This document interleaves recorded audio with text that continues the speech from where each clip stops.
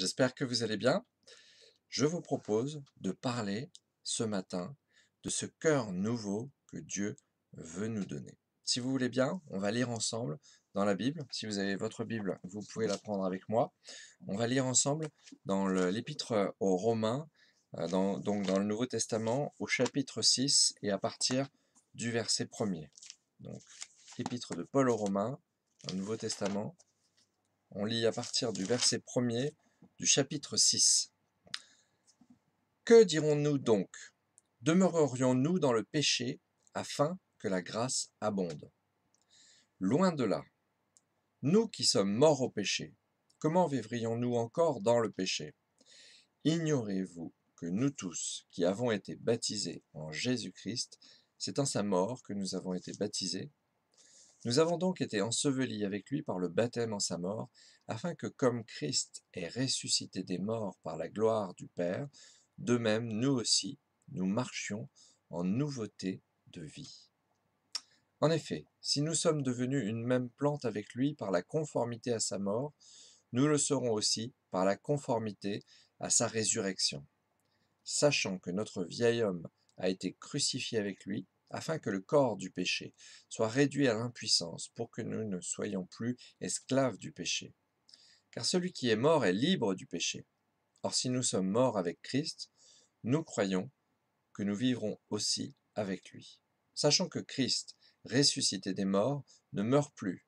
La mort n'a plus de pouvoir sur lui. Car il est mort, et c'est pour le péché qu'il est mort, une fois pour toutes. Il est revenu à la vie et c'est pour Dieu qu'il vit. Ainsi vous-même, regardez-vous comme mort au péché et comme vivant pour Dieu en Jésus-Christ. Que le péché ne règne donc point dans votre corps mortel, et n'obéissez pas à ses convoitises. Ne livrez pas vos membres au péché comme des instruments d'iniquité, mais donnez-vous vous-même à Dieu comme étant vivant de mort que vous étiez, et offrez à Dieu vos membres comme des instruments de justice. Car le péché n'aura point de pouvoir sur vous, puisque vous êtes non sous la loi, mais sous la grâce. Amen. On s'arrête à ce verset 14. Donc Paul nous rappelle que si nous avons répondu à l'appel de Dieu pour le salut, eh bien, nous sommes au bénéfice de la croix, de, de la mort de Jésus à la croix, sur la croix, Jésus a payé pour nos péchés, pour tous nos péchés. La dette est effacée. Et à partir de là, nous sommes libérés du péché qui nous condamnait, parce que le prix du péché, c'est la mort. Mais la croix nous donne la vie, parce que Jésus a payé cette mort pour nous à la croix. Donc nous bénéficions de la mort de Jésus à la croix. Paul fait un parallèle en même temps avec le baptême, il dit, voilà, il y a eu Jésus à la croix, il est mort, il est ressuscité, et quand nous, avons pris le baptême, ou si nous choisissons de prendre le baptême pour obéir à Dieu, eh bien, nous sommes euh, comme enfouis dans l'eau, comme euh, la mort de Jésus, et nous ressortons de l'eau comme si nous ressuscitions avec Jésus.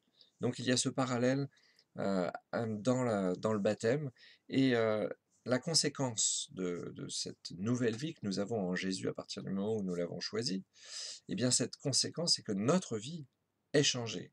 On ne peut pas accepter de, garder le péché qui a cloué Jésus à la croix.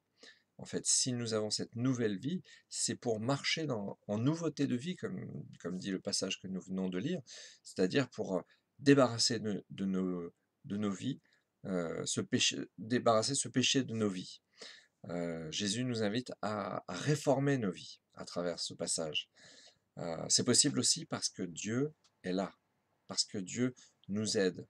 Nous ne sommes pas livrés à nous-mêmes face au péché, mais nous avons la force de Dieu dans nos vies pour nous débarrasser de, ce péché et pour résister aussi aux mensonges de l'adversaire qui voudrait nous faire croire que nous sommes toujours esclaves du péché. Mais, Dieu a brisé les chaînes. Dieu a brisé ces chaînes et maintenant nous pouvons être vraiment libres. Donc avec l'aide de Dieu, on peut changer les choses. Je vous invite à penser à ça aujourd'hui, pendant cette journée. Et puis, euh, on se retrouve pour la réunion Zoom ce soir à 20h30. Merci d'avoir euh, écouté cette vidéo.